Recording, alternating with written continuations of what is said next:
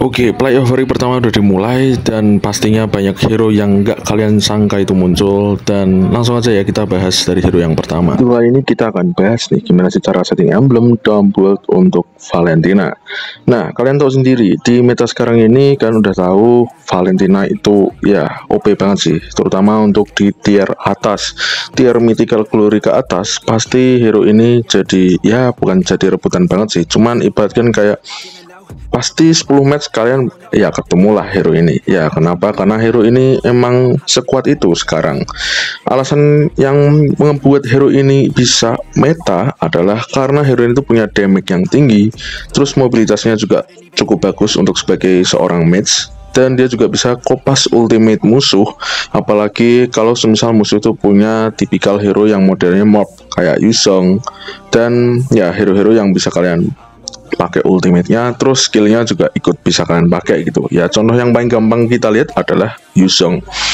Nah di sini kita akan bantu untuk kalian biar bisa dapetin damage yang sakit. Karena aku rasa banyak orang yang pakai hero Valentina tapi malah kesannya nggak sakit dan justru malah ngefit. Ya karena bisa dibilang Valentina ini termasuk hero match yang lumayan deket ya jarak serangnya. Nah untuk penggunaan emblemnya kalian tuh bisa pakai emblem match dengan susunan talentnya itu seperti ini. Nah jadi kalian cukup perlu ganti talent pertama kalian dengan rupture ini adalah talent emblem versi games RHS ya. Jadi kalau misal nih kalian itu bingung cari build atau cari susunan emblem itu yang nggak gimana kalian tinggal buka aja di talent ya bukan di talent di search YouTube ketik aja hero plus games RAS pasti bakal direkomendasiin ke channel ini. Nah, jadi yang di sini pertama kan bisa pakai rupture. Rupture ini tujuannya buat ningkatin penetration yang kalian miliki. Ya, karena Valentina juga termasuk hero match yang bisa ngasih damage tinggi. Nah, biar kalian damage-nya itu semakin sakit, kalian tinggal tinggiin aja penetrationnya. Dan selanjutnya nih kalian bisa pakai Bargain Hunter. Ini adalah salah satu talent yang menurut aku cukup bagus untuk hero-hero match yang bisa nge-carry tim. Ya contohnya kayak Valentina gini. Valentina termasuk hero match yang bisa dibilang itu match yang bisa nge-carry tim guys. Ya kalian bisa lihat Moreno yang baru aja dapetin Maniac. Dan ini salah satu ya combo terbaik lah untuk Valentina dari combo talent. Terus di sini nih lethal in action. Ini salah satu talent yang bikin setiap serangan kalian yang keluarin itu pasti sakit guys. Kalian nggak usah peduliin kondisi SP hero musuh itu tebal atau tipis, itu pasti tetap bakal kerasa kok. Karena memang ya se-OP itu talent ini. Nah untuk emblem seperti itu, terus untuk battle spell. Untuk battle spell di sini kalian bisa pakai flame shoot atau flicker. Kedua kedua spell ini ini salah satu dua spell yang menurut aku oke okay lah untuk dipakein sama si Valentina. Nah, tapi untuk dominannya sih lebih ke flicker ya, karena flicker ini bisa dikomboin sama setiap skill yang ada di Valentina. Nah, untuk flame shoot ini cenderung sih lebih berfokus untuk mereka yang memang kadang pengen dapetin kill tambahan, kayak yang sampah tim sendiri. Misalkan nih ada jarak jauh musuh yang lagi sekarat, itu pasti mereka pakai flame shoot.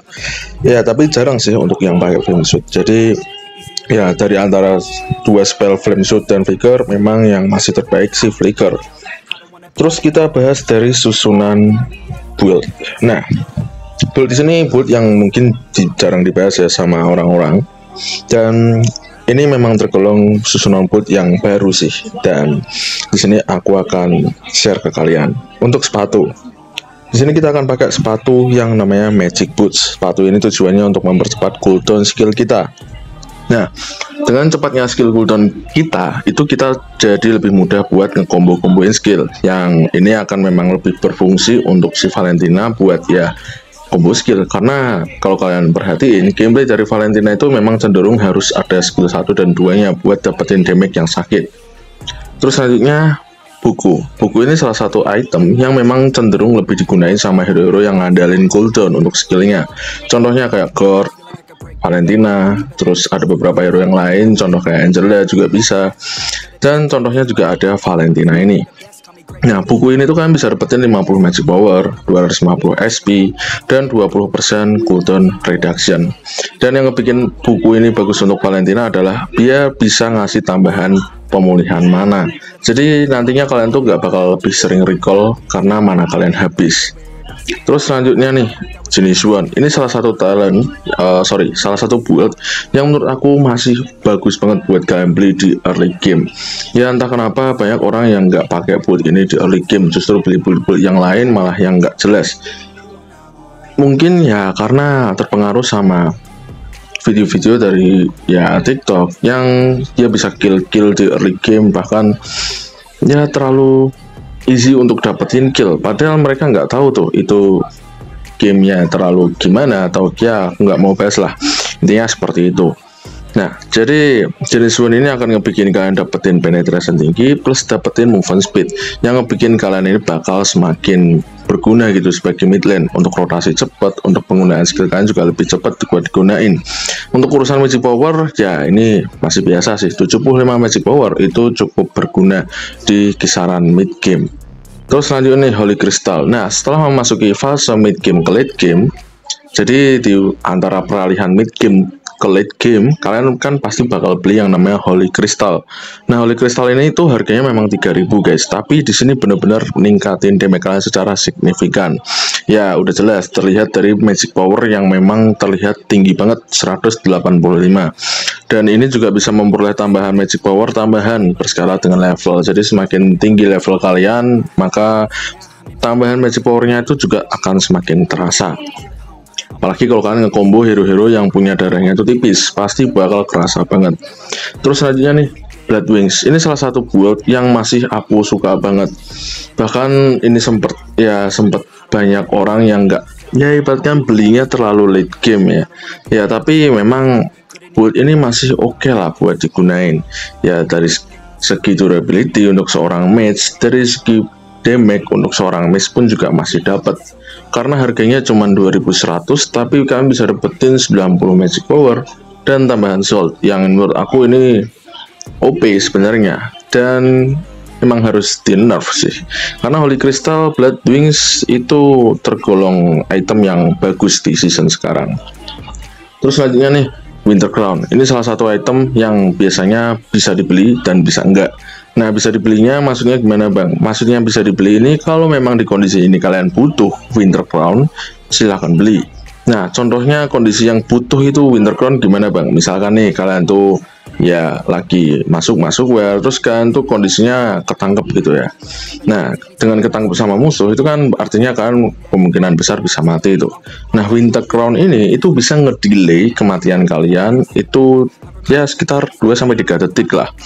Nah dan di sini ngedelaynya pada saat kalian ke delay itu kalian tuh bisa minta tolong sama tim kalian buat nge-backup. Nah ini biasanya sempat terjadi comeback dari hal ini guys. Ya dua detik atau sampai tiga detik itu juga berharga. Jadi gitu doang sih untuk ngakalinnya. Nah terus kalau misalkan kondisinya nggak terlalu butuhin winter crown bang gimana? Ya kalian bisa beli yang namanya divine cliff atau kalau memang kalian pengen dapetin durability ya beli aja immortal yang bisa ngebikin kalian tuh ya bisa ngedelay juga sih ya. Tapi bukan berarti kalian nggak bisa mati ya. Karena kebanyakan orang-orang yang nggak begitu paham tuh kalau kalian udah beli item ini kalian tuh nggak bisa mati nggak bisa kenapa-kenapa gitu. Padahal kalian mau beli item apa pun kalau main kalian tetap nggak bener itu juga bakal matinya banyak guys Oke guys, gitu doang cara setting emblem dan build Valentina. Buat yang kalian ngerasa video ini bermanfaat, jangan lupa dengerin like dan share ke teman kalian.